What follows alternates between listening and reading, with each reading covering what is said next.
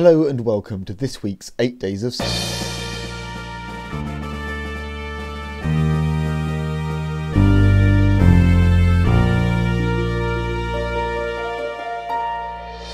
Starting off the news this week, a study published in the journal Proceedings of the National Academies of Sciences has used the analysis of strontium isotopes using laser ablation to try to better understand the hunting and dietary habits of Neanderthals and a Magdalenian human.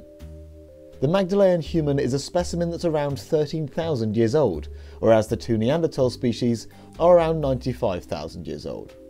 The analysis suggests that the Neanderthals were hunting large animals over a large area, contrary to the human species living in the same locality tens of thousands of years later.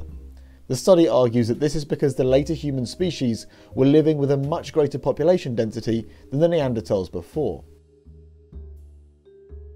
And a brief bit of paleontology news for this week. A study published in Proceedings of the Geologists Association has detailed the discovery of four cervical vertebrae of a pliosaurid plesiosaurian sauropterygian from the Kimmeridge Clay Formation in England. It is estimated that this newly discovered creature could be up to 14.4 metres in length, a truly massive organism. Unfortunately, the paper admits that the genus and species cannot be accurately determined with the limited amount of material discovered, but it likely belonged to a species within the Pliosaurus genus. A remarkable discovery which we may indeed have more to say on in the future.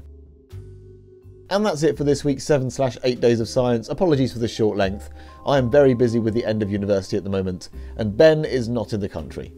We'll be back soon enough with plans to make the channel better than ever. We look forward to making that journey with you guys, but in the meantime, I do hope you enjoyed, and we'll see you next week.